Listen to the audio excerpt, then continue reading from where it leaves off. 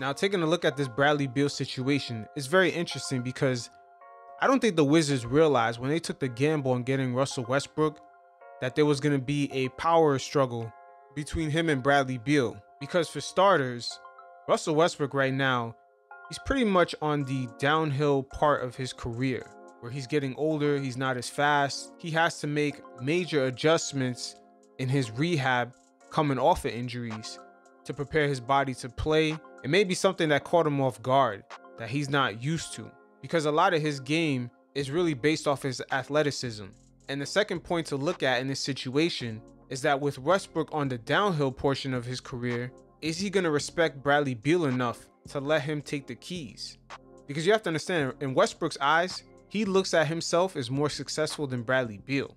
Just the other day when John Wall had beat the Wizards, I believe that was the first time he defeated Russell Westbrook in a long time. So you have to understand Westbrook has always had a leg up on these guys. So now him being with Bradley Beal, he still views himself on the higher end of the pecking order when it comes to him and Bradley Beal. But at the end of the day, Bradley Beal right now in 2021 is more efficient and the much better player than Westbrook. But Westbrook probably looks at it like I've won an MVP award. I've made multiple playoff appearances. You know, your ass has always been looking outside of the playoffs in a weaker conference. How can I give the keys to you, even though this was already your franchise?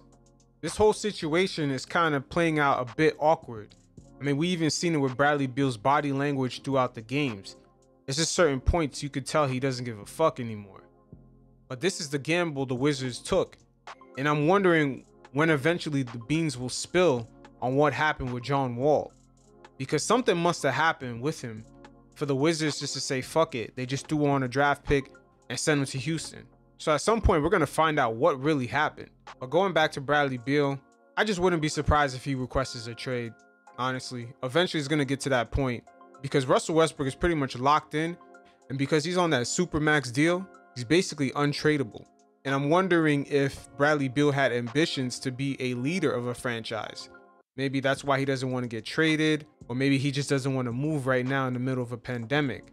So he's being sort of the Mr. Nice guy right now about this whole situation.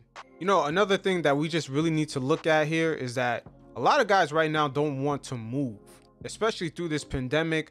A lot of NBA players have young families, so they're not really trying to make major moves to different cities during a pandemic, especially to potential cities that have it worse than others.